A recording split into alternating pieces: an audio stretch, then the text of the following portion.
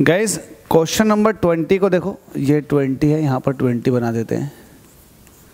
आपसे कह रहा है the kinetic energy of the material particle with de Broglie wavelength lambda is double देखो डी ब्रॉगली वेवलेंथ लैम्डा दे रखी है, और काइनेटिक एनर्जी के बारे में कह रहा है कि काइनेटिक एनर्जी को डबल कर दिया गया। तो हमसे कह रहा है then the de Broglie wavelength of the particle will be तो बताओ, उसकी डी ब्रॉगली वेवलेंथ क्या होगी? तो मतलब एक तरह से एक रिलेशन आपको चाहिए जिसमें वेवलेंथ और काइनेटिक एनर्जी हो। तो आपको पता है वेवलेंथ जो होती है, ये होती है h upon square root two m के कुछ इस तरीके से। मतलब यहाँ से आप कह सकते हैं कि लैम्डा जो है, वो काइनेटिक एनर्जी के इन्वर्सली प्रोपोर्शनल है। ठीक है, ये बात आ गई।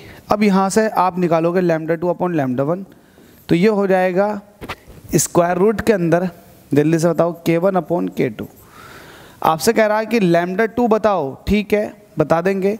लैम्डा वन जो है वो लैम्डा है। बिल्कुल। अब काइनेटिक एनर्जी पहली वाली के थी और दूसरी वाली जो हो गई वो टू के हो गई।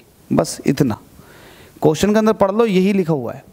तो के से के कट जाएगा, यहाँ से बचेगा वन अपॉन रूट टू और यहाँ से बचेगा लैमडा टू अपॉन लैमडा। तो मैं यही कह रहा था, लैमडा टू अपॉन लैमडा, ये हो जाएगा वन अपॉन रूट टू।